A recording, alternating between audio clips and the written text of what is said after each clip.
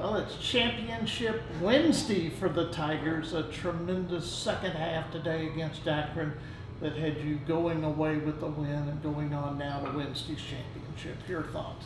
Uh, thanks a lot, Kent. Really proud of our players. I thought the defensive effort was awesome. Uh, obviously, we got to clean up some of the defensive rebounding issues there. Uh, but overall, you, hold them to 31% from the floor in the first half, bring that all the way down to 20% in the second half. Uh, gave up five field goals.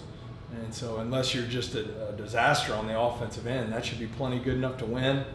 Thought our guys played hard. I thought a big key, Kent, was uh, they had us on the ropes there a little bit in the first half, had a chance to go up by 10, and we were able to close the half, cut it to two, uh, make a few adjustments there at halftime, and, and come out to hold them to 23 points.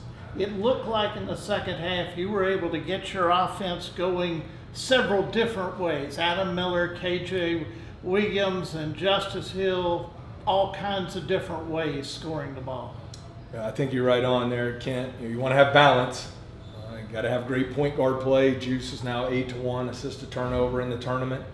Uh, KJ scoring the ball at a high level down in the post, and then Adam Miller was fantastic, using screens, reading screens, and stepping up and knocking down big shots. Uh, but as we always tell our team, it's about does LSU win or LSU lose, and so everyone's got to do their job to make those things happen.